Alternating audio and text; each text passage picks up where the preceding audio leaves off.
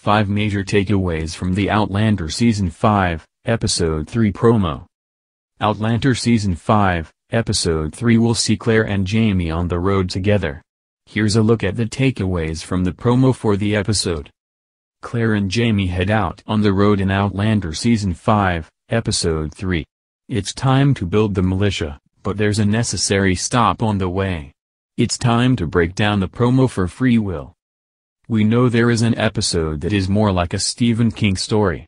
Many have expected that it will be the one focused on the Beardsleys, and it's clear that that's this episode coming up.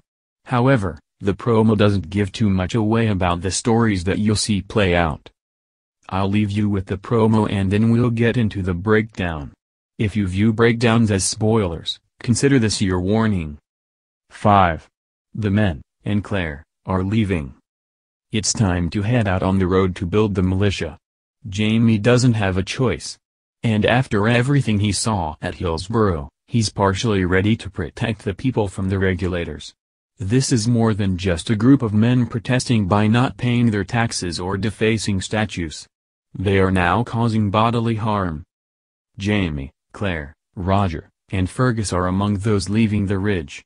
Brianna and Marsali will be left behind with the bugs to help look after the place. 4. Jamie tells Claire about Bonnet. Jamie isn't going to keep Bonnet a secret from Claire.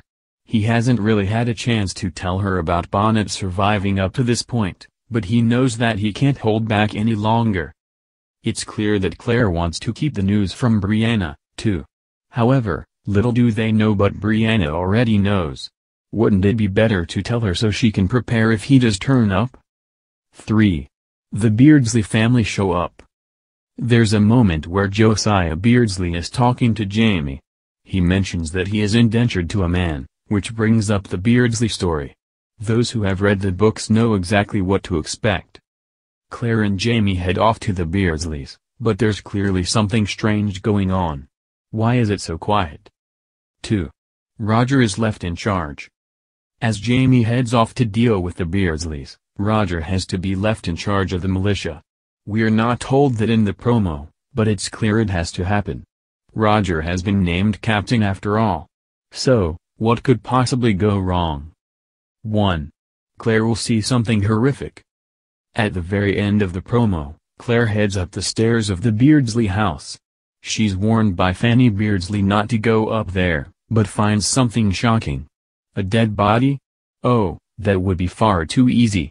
Honestly, you'll need to get ready for a dark and horrific episode. What do you take from the Outlander Season 5, Episode 3 promo? What do you expect to play out in the Beardsley story? Share your thoughts in the comments below.